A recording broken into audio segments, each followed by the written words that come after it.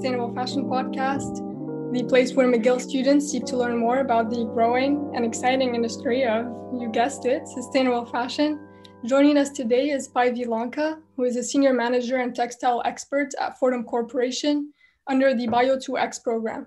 So, Fortum is a, a Finnish energy company, and a few years ago, they started a program called Bio2X whose mission is to, and I quote, produce high value products from agro residues and woody biomass to replace fossil and other environmentally detrimental raw materials. So some of our listeners may already be confused, but that's why we have Päivi here. Päivi, we're very grateful to have the opportunity to speak with you um, and thrilled to have this conversation. So thank you for joining us. Thank you very much for inviting me. I'm, I'm more than happy to be on.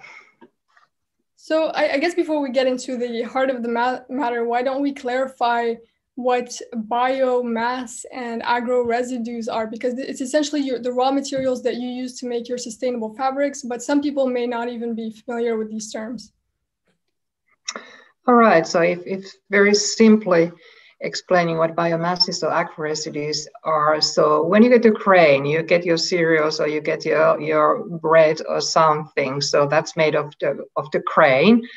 And the residues, the rest of the harvest, uh, what is beside of that, what we get for the food industry, is kind of like a residue and ag- agrobiomass.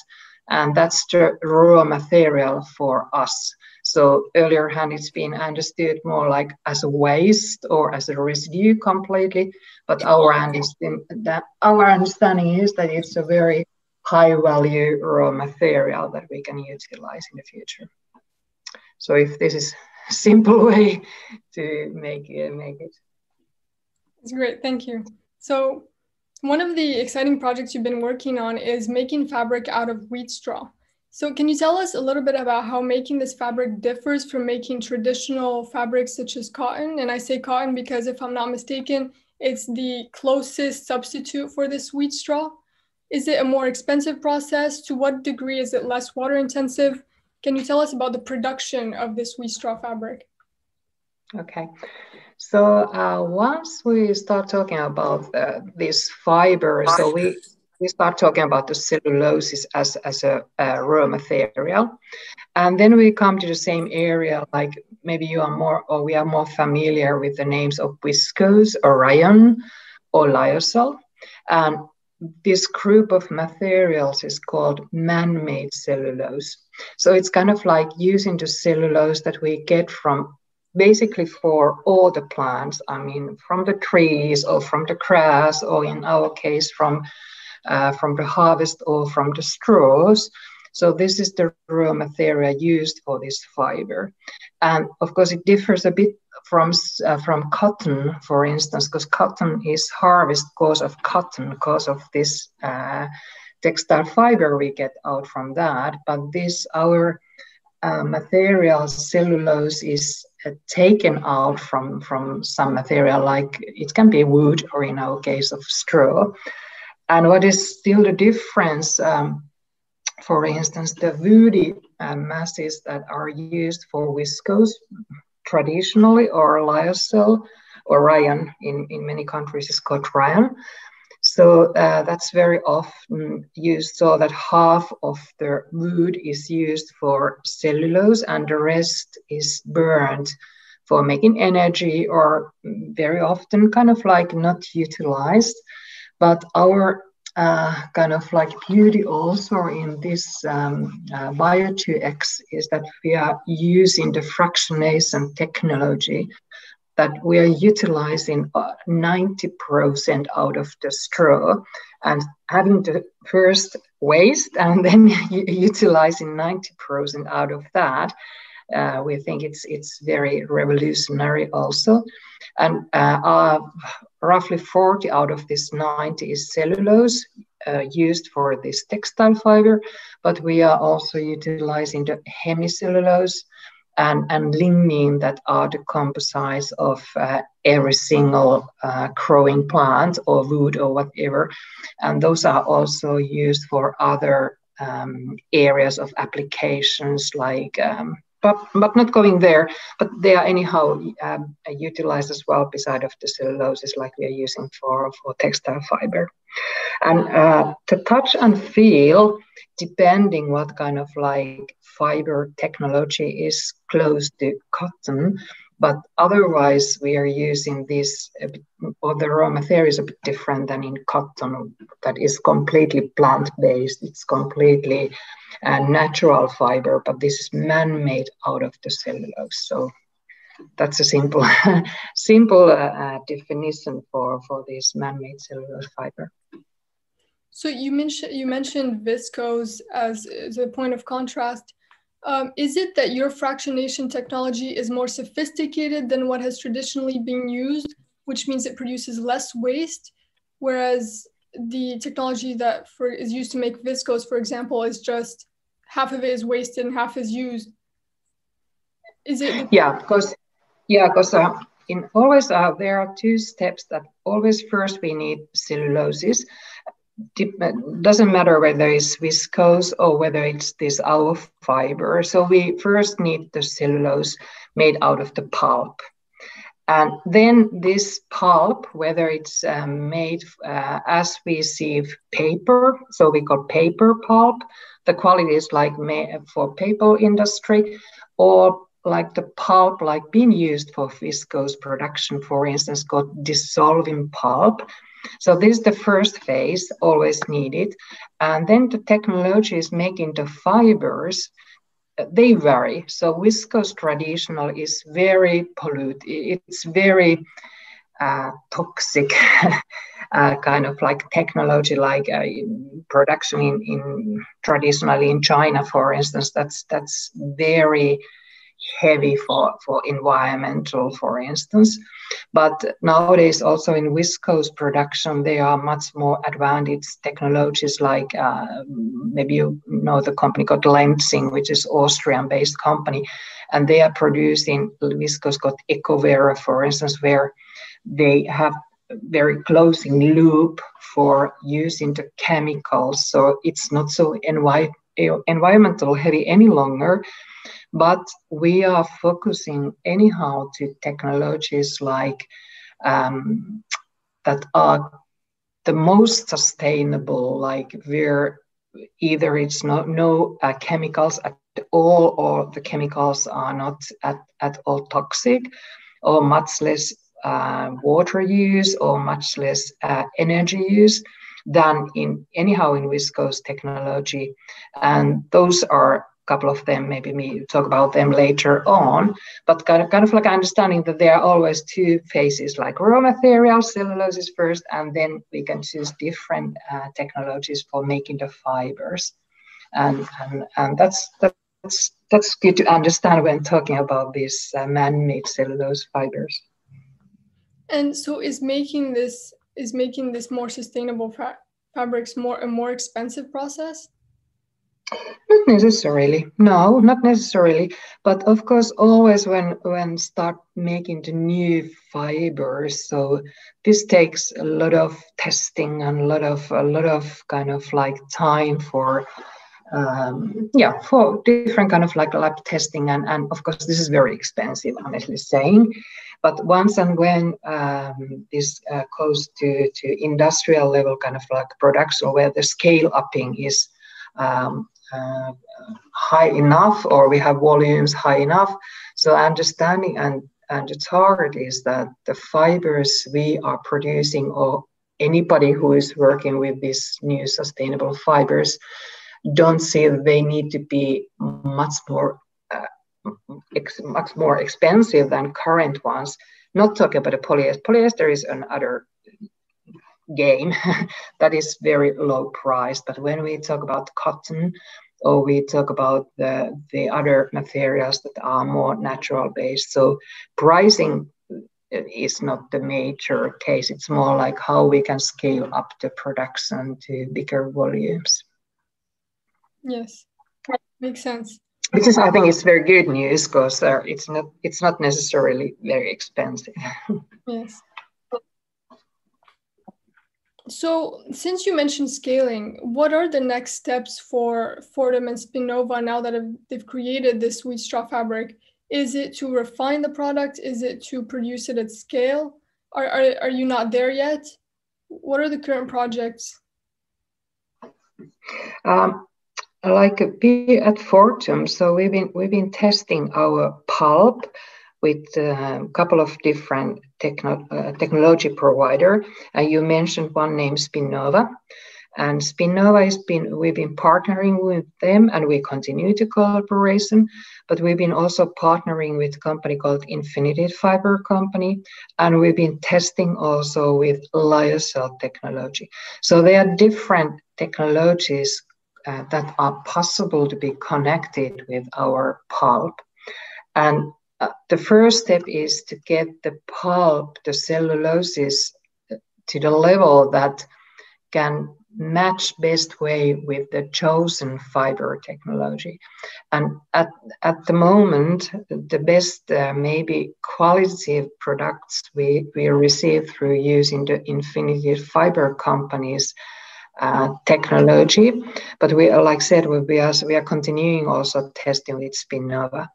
But uh, to your question, where we are right now, so um, the major step is to um, uh, get this celluloses right and then get the biorefinery. Because we need first kind of like the biorefinery to get the celluloses out before we can go to fiber making.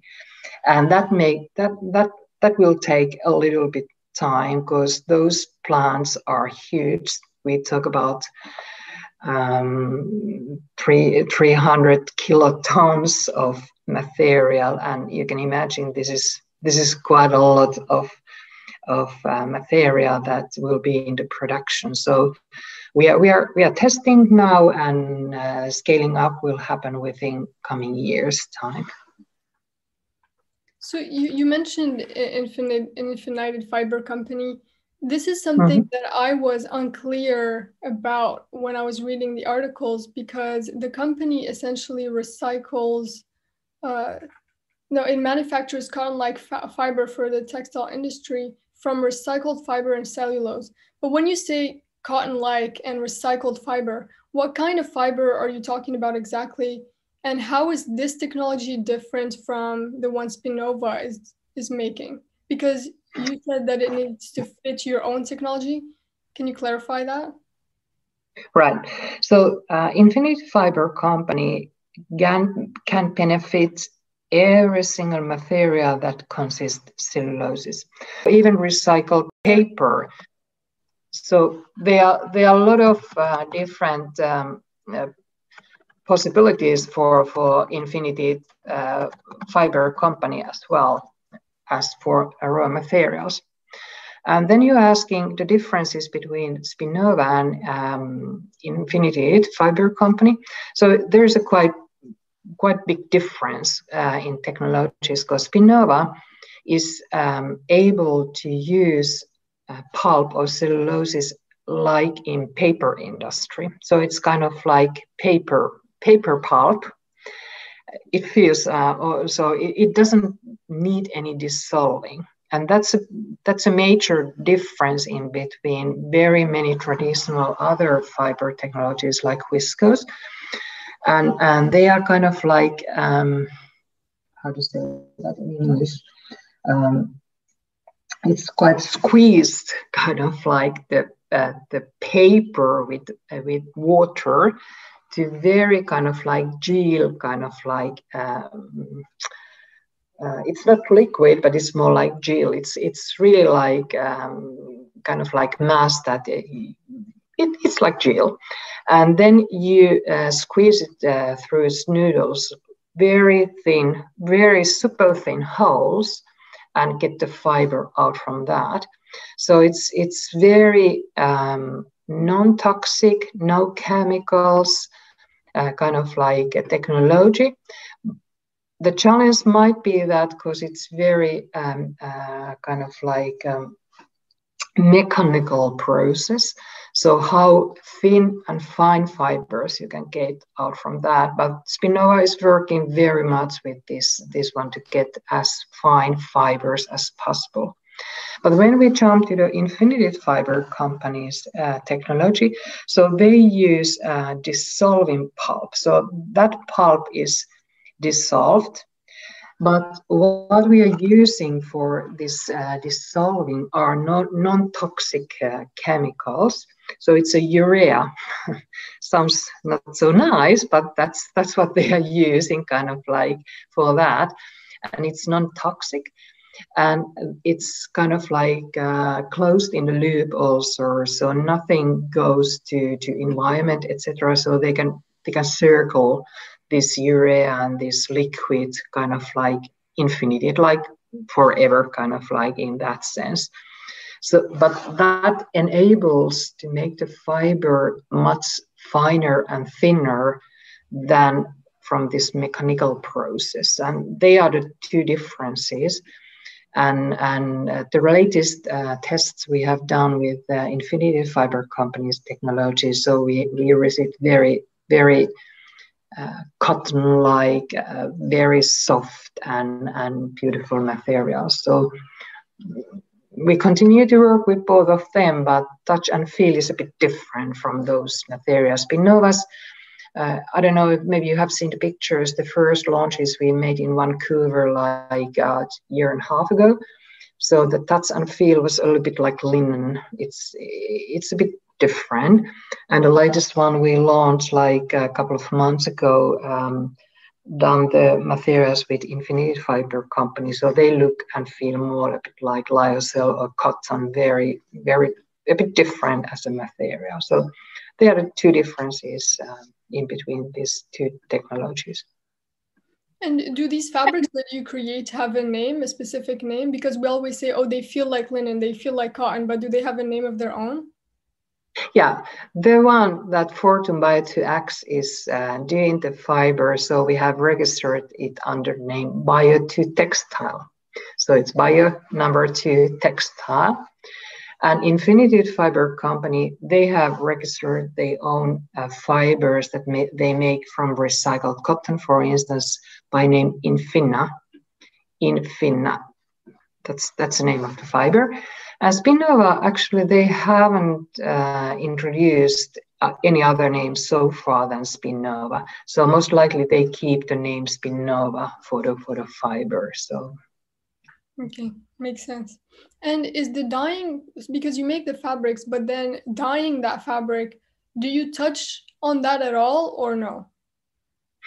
Uh, in that sense, definitely that dyeing, for instance, in value chain of textiles is one of the most polluting and the most challenging part. And the less uh, um, colorations, the less water you need, the better it is for, for the chain. And that's what we try to develop, and we have seen very good uh, results also with uh, for instance, with Infinity Fiber Company, that it requires much less water and dyes than, uh, for instance, cotton uh, in that sense. So it, it, it will be much more environmental uh, friendly in that sense as well than, than conventional cotton, for instance. So it's very it's very important part to get this um, coloration and coloring uh, dyeing as uh, low um, impact uh, as possible. So we spoke about your fractionation technology. Uh, in your website, it says that it, it, leads to a higher purity of fractions when you separate it into its components. It leads mm-hmm. to higher purity of fractions than traditional pulp and biofuel processes. Can you tell us what it means to have higher purity and why does it provide an advantage over traditional pulp? Like mentioned earlier, so in traditional, if you say traditional pulp uh, industry, so very often it's it's done the way that only the cellulose is taken out from from the from the feedstock, and the rest, lignins and hemicellulose, they they are very seldom even utilized. They are very often just taken as for energy production. So, mm, honestly saying, burned, burned so far. But in with this technology, we can really take all those components and fractions from, from the raw material and utilize all of them. So no need to lose any high value uh, raw materials and resource, uh, resources any longer, but kind of like use them all for for applications and, and different areas. So that's why we are saying that this is much higher value than earlier had been and still currently very, very heavily in pulp industry. So yeah, that's that's the reason why we are saying. So this reminds me of, of one of the things you're doing as well. So Fortum is making multiple biorefineries, and one of the things you're doing is you're using bamboo to produce bioethanol that's then mixed with hmm. petrol, but it also makes biocoal, which you combine, which you then use to produce heat and power to the biorefinery. Is this something that Fortum is trying to do for all its biorefineries using clean energy to produce clean fabrics? Or are its investments in clean energy currently separate from its investments in clean fabrics? Of course, we are uh, once and when we see where we are going to uh, locate in the future our biorefineries, so we are definitely uh, looking for locations where we can use the clean and renewable energy because that's very kind of like important part out of our story and the, the future of uh, materials as well. This uh, uh biorefinery in India, that what we're currently working with or building that one. So that's the first one we are we are uh, making, and and that's I'm not so deeply involved in that project and how much we see the future for bioethanol. But uh, of course, this is very much kind of like a re- replacing the current um, uh, fossil-based um, kind of like uh, petroleums uh, for for different industries in in areas like India. So that's one one kind of like uh, area for applications to use the fractionation technology also. So can you give us an example of how, what sort of clean energy you would use to power a biorefinery? Uh, depending if we, for Central Europe, if we think about, so it can be solar, it, it can be kind of like uh, wind power, so different different kind of like clean energies. For instance, here in Finland, we are very strong with uh, with wind power, for instance, or going uh, to areas like India or somewhere. So most likely it will be the solar. But all of these new, because we like like you introduced Fortum at the beginning of this, so we are very much like energy company uh, in the soul and core of, of this company, and, and we see very strongly where the future of energy uh, production and um, will go. So we know that renewable energy sources will be the future, or whether it's it, it's going, going to be the hydrogen in the future, etc. But the, but a lot of a lot of options for renewable energies, depending a little bit where you are located. So I'm not very familiar with renewable energies. If you use solar or wind power, do you get a stable source of energy? Do you have to deal with fluctuations? How does that affect the production process? Or how might uh, yeah, for time being, like we all know that this is the major challenge, like for wind and solar. So that's um, how how we can keep the stable production, and might be that still we need to use for a couple of years to go, kind of like uh, other um, resources based, whether it's um, gas based or whether it's some other sources based energy but kind of like uh, the um, development goes further all the time and the less and less we need kind of like other sources for for um, non-windy or non-sunny days but for time being there is still a little bit need for replacement but all in all we try to uh, find the solutions that we, we don't need to use uh, coal based, for instance, or oil based. Gas, of course, we know this is not the optimal either as a solution, but for time being, uh, if some um, kind of like um, other options are needed uh, for for those uh, moments that we don't have the renewables available, so as less environmental heavy as possible. Makes sense. So going back to your fractionation technology, it says that it enables decentralized production and smaller, more flexible refineries than before. Why does fractionation technology enable decentralized production and more flexibility? Well, actually, it's it's not that heavy uh, processes that in traditional pulp um, factories or plants and and like using the straw for uh, for instance or in our case when we use the straw as a as a feedstock it doesn't make any sense that the logic logistic distances for instance are too long. So it uh, it means that the circle around the plant wherever it's located need be reasonable. And we are we are talking about like a max 100 kilometers kind of like a circle.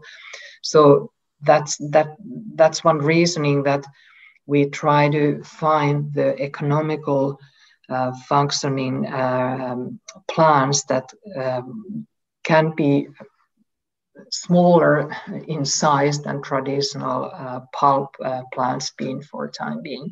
And that seems seems to be working very well. So we don't we don't need so huge pulp um, pulp plants like uh, traditional the forest industry requires. But why is that? Why is it that the traditional method requires huge production plants, whereas it's, it's simply different technology than this fractionation. So how this is this is using kind of like formic acid and water. So and and the, for instance, um, uh, the way of making pulp doesn't require that much energy and heat, etc. So it, it's possible, kind of like um, get the economy of scale from smaller plants than in traditional uh, pulp industries and the plants for that. So it's a different technology and that enables for smaller plant sizes to be economically um, uh, possible. So uh, my next question is that you're you're testing different forms of raw materials, uh, bamboo, wheat straw, paddy straw, hardwood uh, are you using all these forms of raw materials because their compositions is similar and so the end result is similar and so it makes it easier to scale? Or, or is there a different reason why you're using so many different ones and not focusing on, on one? Actually, we are focusing. We are focusing into straw and, and currently the wheat straw. Uh, potentially, this technology, the fractionation technology, can utilize all of this mentioned. We like bamboo. Okay, we are using and, and testing and, and going to use bamboo in India, for instance, for this first one.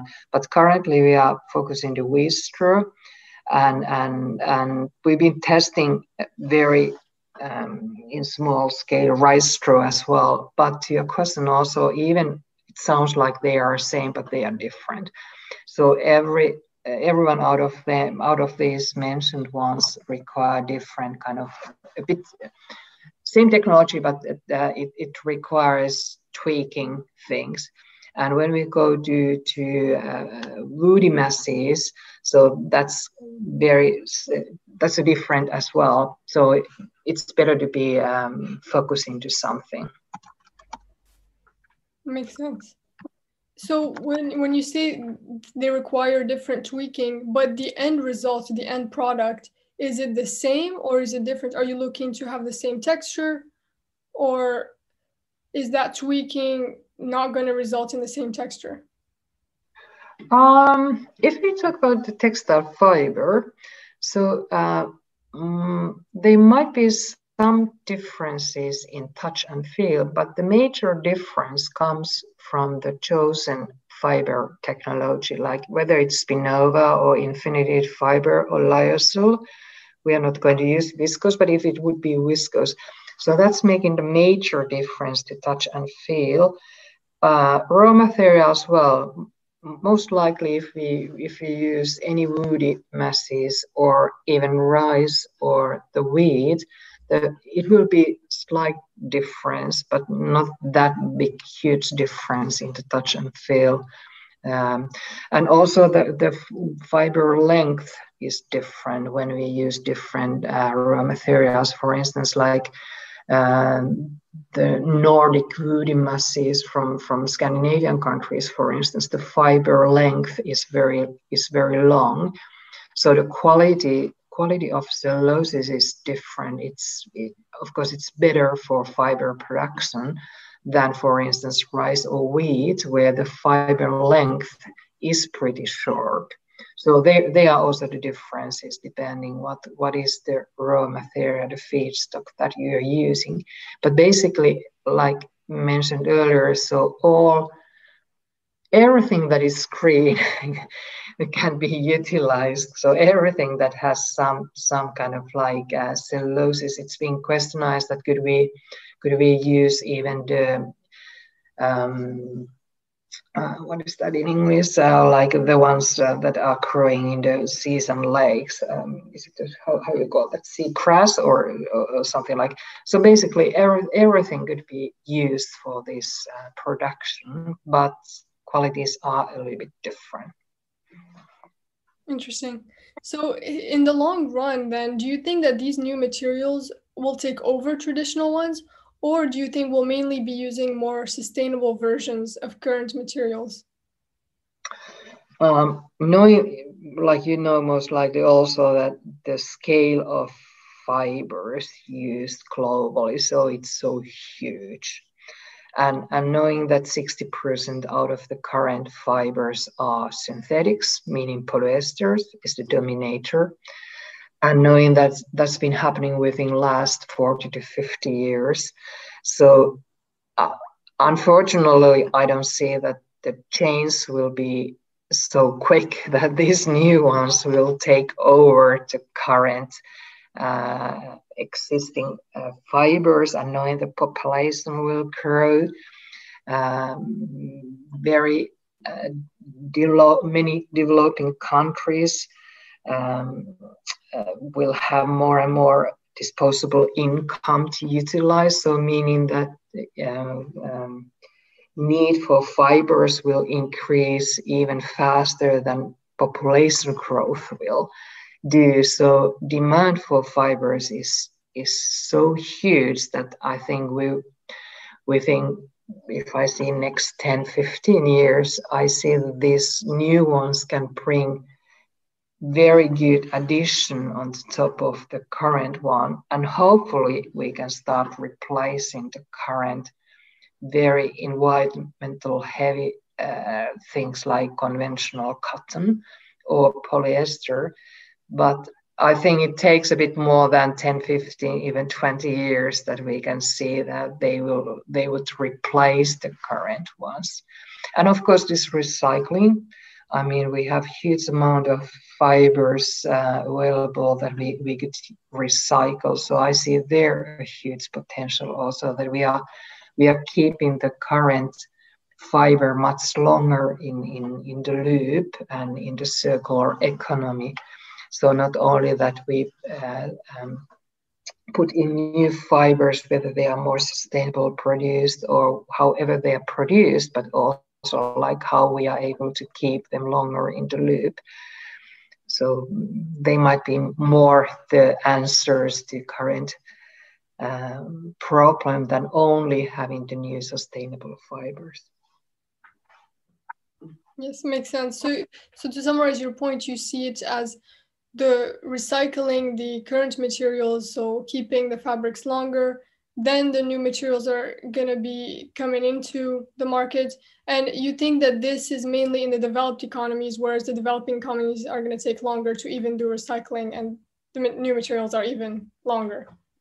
Not, not necessarily. My point was that because the, the need for fibers will increase heavily in the future because uh, in developing countries people will have more and more um, honestly saying consuming power so means that re- uh, needs for fiber is increasing in many areas that currently are not uh, um, kind of like uh, consumed uh, consuming the way that we are consuming here in EU, for instance, or United States, or in, in high developed countries. So meaning that fiber need is increasing so heavily that uh, we need to find a ways to, to circle the current ones that we are producing I, I, don't I don't see that we can have much more um, Arab land for cotton production, for instance. So we need more land for food production, and kind of like then it means that current cotton farming land, for instance. So we need to keep this cotton more longer in, in the circle, circularity. So meaning that people should wear the clothes longer, kind of recycle them, secondhand, whatever they are but of course there is someday there is the end for every every single shirt. I mean you cannot use it forever. But point is that bring it back to the uh, recycled cotton as a material like Infinited Fiber Company for instance. So then they are collecting the cotton i mean for, uh, the um, materials from the market and not kind of like burning them or doing like currently mainly all the, the textiles are inherited or they are burned or they are not um, collected back and recycled. But if we get these raw materials like from the jeans or shirts that no one is willing to wear any longer back to the recycling and using this recycled cotton as a raw material. So then we don't need the virgin materials all the time, whether it's cotton or whether it's polyester or whether it's these sustainable new materials, but keeping them much longer in the loop. And beside of that, then of course always needed some virgin material. That's not the point. We we cannot forever just circle something, but needing less the virgin materials than we are currently doing. Because now in the linear system, like what we are doing, so we are putting them to the loop from one end and drawing them out from the other one. But that's that's impossible to continue, like we all know. So that's the point. But we uh, definitely there is a huge, huge, huge market uh, for sustainable new materials that we are working with our Bio2X or uh, a lot of other companies are working with uh, different pulp pulp um, from forest or from bamboo or different raw materials but um, we are we are focusing to to residues and and you're right that there is a huge market for it. In fact, other new investors in in for example in Infinited uh, Fiber Company is H and M. So my question is, what is uh, Fortum planning to do with this access to sustainable materials? Is it to work with big brands? Um, yeah, because uh, in the value chain, our role will be the fiber supplier. We are not a yarn maker, we are not a fabric maker, we are not a fashion house, but um, we can work and we see our future to be working with very different kind of like companies, whether it's H&M or whether they are different areas, because they are also, I see also a lot of new brands and companies coming to the market who are focusing already to using more sustainable materials. So we haven't been saying that we are only working with H&M or we are only working with new companies or we are no only working with with some areas, but we only know that we are going to be the fiber supplier and and then start working and developing things with different kind of like a vendors in in in the brand brand area. And also most likely working with the fabric makers who are then working with different brands. So there are there are many different approaches to to textile and fashion market. And at the same time we're talking about here wearables and fashion but uh, we are also very keen on understanding uh, the market for so-called non-wovens. Like um, there are a lot of uh, areas like um, in hygiene or medical textiles, or um, for instance, this pandemic, and this COVID, and the, all the face masks that people been wearing globally. So they are all made out of the non-woven so kind of like different different materials needed for those purposes. So or are they kind of like um, uh, wipes or are they kind of like um, uh, different different needs for non so that's one very big sector also. So can you clear can you tell us what the main difference is between making non-wovens and wovens i guess? Yeah Uh, non-wovens is kind of like a non-wovens, so it's. It, um, I'm not very very professional with that, but they are uh, they. It doesn't need any yarn, or it's not woven, or it's not knitted. So it's kind of like pressed, kind of like uh, together, like like we see our face masks. When you take a look out of that, you see it's not woven; it's kind of like melted. It's kind of like pressed together, like fibers. And there are different technologies like how they are used, or if, if you see the um, diapers, or if you see something. So all of those materials are called nonwovens.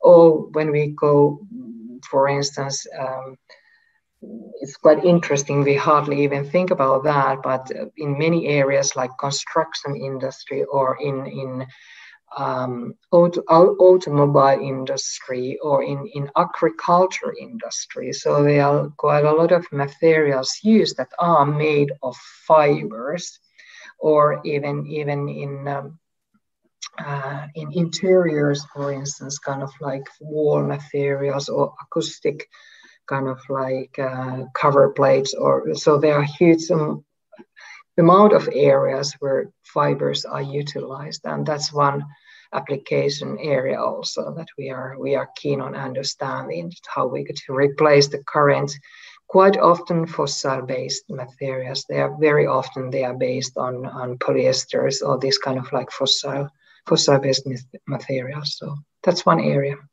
Yeah, and that's really cool because a lot of those non-wovens are disposable, like diapers and so on. Exactly. exactly. And that's very cool. Exactly. Yeah. So, I want to go back to uh, the technologies you were mentioning, the IFC technologies uh, that you say use less chemicals. What sorts of chemicals are used in the production of traditional fibers that are not used in the making of uh, the fibers that are made by Infinited Fiber Company, for instance? Um, oh my goodness, I should remember the names of the, in the viscose. They are using um, oh, what is the name of that? Oh my goodness, I, I don't remember the name of the chemicals, but they are they are very it's it's kind of like ammoniums and and very heavy chemicals that are used for making the viscose. But like mentioned in IFC technology, they are using urea and nothing else, which is kind of like basically you could put this back to nature and it doesn't harm anything, but kind of in, in traditional viscose technology. So the, the chemicals used are very toxic and they're very heavy for, in, for, for envi- eh, not only for environment, but actually also for people who are working in those production plants. So, so there's a there's a very big difference in, in between those uh, things. So moving moving now to Spinnova, they're testing a technology that turns microfibrillated cellulose directly into a fiber without dissolving uh, harmful chemical processes. Is this similar to what you were just speaking about, or is it different?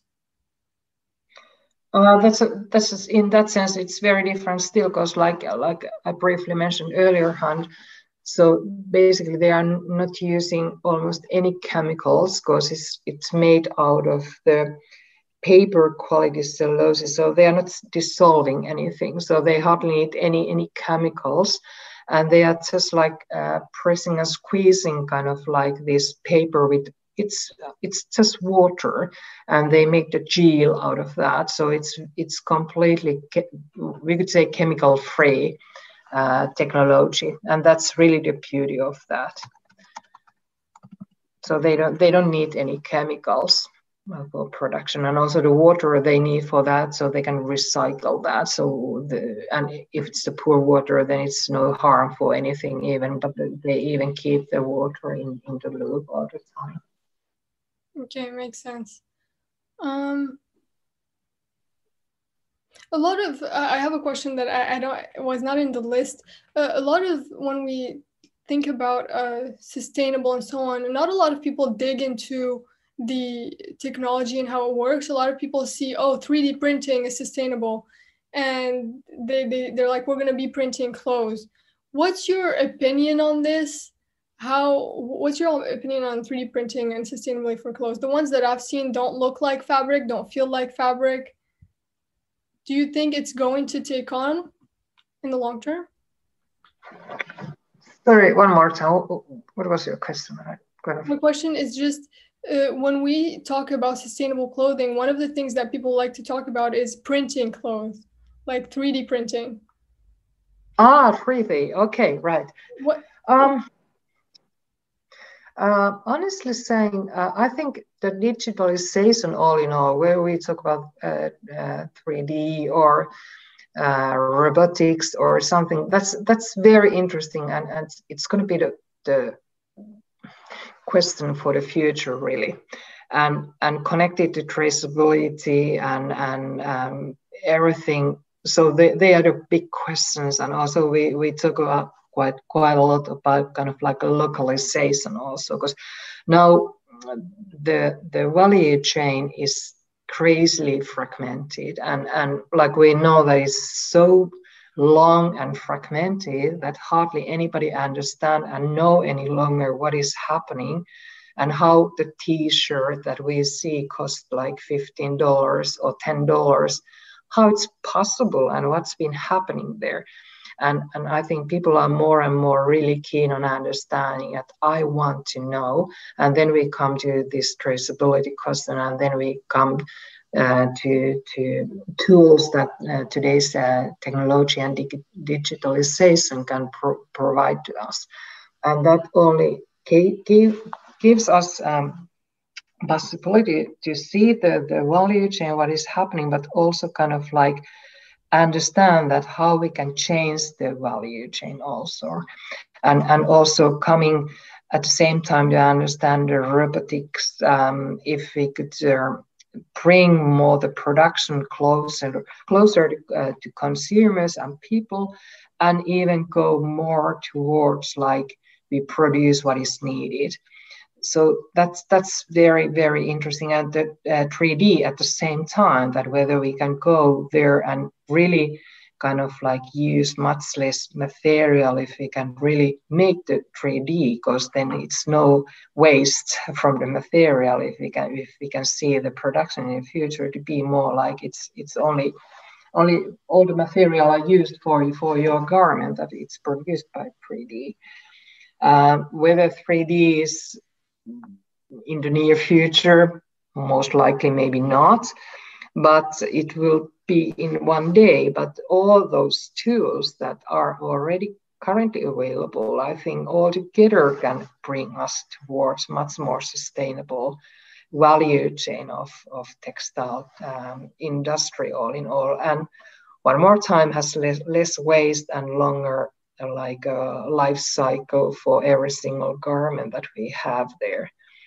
And and at the same time i see kind of like educate people to understand that how you can value uh, how, how, how you value your garments because I, I, think we are we have changed our um, habits for uh, using things more to fund than appreciate the garments that we are buying. So it's it's more like it's more like same like I, I buy kind of coke than I buy new t-shirts. So it's kind of like no appreciation any longer for for mm. the garment because they are so low priced. But going more towards that we value the materials and the workmanship and the design and the beauty of them and and maybe um, buy not so often but kind of like when once we buy we we really buy something that we want to use and wear longer and appreciate the beauty of them. So i think that's something that we we move towards and and seeing the younger generations already lot at least here in in in the wealthy countries uh, thinking that um, enough is enough. We don't we, we don't we don't have to buy new things every week, but we, we can we can change our habits also. But to your question, I, I see digitalization can provide a lot of lot of um, new things. Uh, it was quite an interesting discussion once uh, once when we've been living this um, remote work culture now for one one and a half years already. How much people any longer need new clothes or can they be kind of like digital clothes can you wear your Guccis for team meetings for 50 dollars a week kind of like and not investing 5000 for your Guccis in that sense so that's quite interesting and uh, thinking also like how much we really need to own something or can can it can it be in some some cases also be completely new way of um, utilizing the, uh, the, beautiful design and beautiful things that people are providing. So a lot of lot of interesting things there. But this traceability is something that i think it's it's one of the key questions for the future Yes, very true. And you mentioned that last point of uh, virtual clothes. When I saw that, mm. I, I, didn't know if I liked it. I like to own things physically, but uh, yeah, I mean, it's just yeah, like... may, maybe of course. I, I, I don't th- I don't think it will be the major way of doing, but in some cases, maybe not always needing new things. Of course, um, nothing against that having and owning things, but I don't think we need to own everything that we, we see and like. So Yes. I want to thank you so much. We learned a lot. It was very interesting, uh, fascinating stuff. And uh, thanks. It was very nice. We had a really good time talking to you. We would love to have you back at some point in the future to discuss the developments if if uh, you're interested. Um, oh, absolutely. Yeah, I'm more than happy to come and tell once once we have some a little bit more. And I assume you have you have seen the pictures of our uh, collab with one designer of Ecruit, for instance. So, yeah, good. So you know what what kind of things we have done so far. So when we have next next kind of like uh, news, so I'm more than happy to share it with you. Yes, I'll certainly stay up to date. So thank you yep. so much for joining us, and I uh, hope to Thanks see you. Yeah, thank you very much. Thank Bye. you so much. Bye. Bye. Thank you so much. Yeah, I see how the industry has so much development potentials as well. I'm so excited. I think the industry will do better in the future, as you mentioned. Absolutely, and there's huge opportunities. I, I think it's only yeah. positive possibilities, and and yeah. Okay, take yes. care. Bye. Thank you. Bye.